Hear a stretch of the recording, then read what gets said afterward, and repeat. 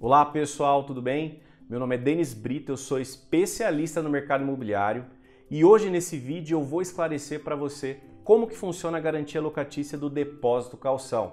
Então fica ligadinho. Vamos lá. De acordo com a lei do inquilinato, o proprietário do imóvel, o locador, ele é quem escolhe a modalidade de garantia locatícia e não o inquilino.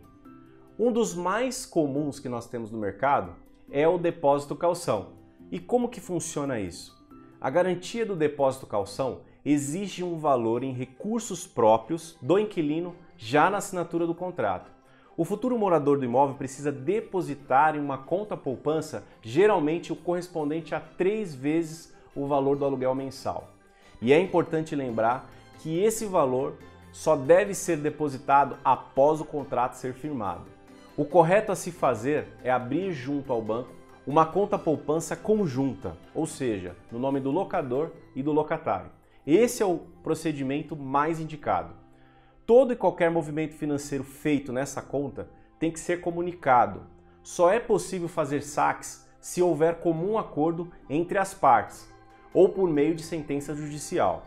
Esse dinheiro é, ele é uma segurança para o proprietário, o locador do imóvel, se acontecer problemas como, por exemplo, a falta de pagamentos de aluguel, condomínio, multa contratual ou até mesmo se o imóvel for danificado pelo inquilino.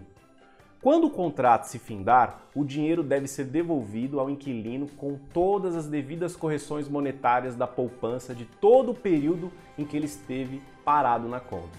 A principal vantagem está na segurança financeira para ambas as partes envolvidas o pagamento dos três meses de aluguel garantem, de certa forma, que a reserva financeira será suficiente para cobrir um período de complicações e sem prejudicar a saúde financeira do locador.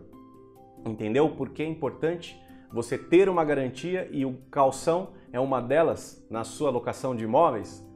Bem, pessoal, se ficou mais alguma dúvida, se você gostou desse vídeo, compartilha, dá um joinha pra gente aí, assina o nosso canal e obrigado pela sua audiência. Até o próximo vídeo.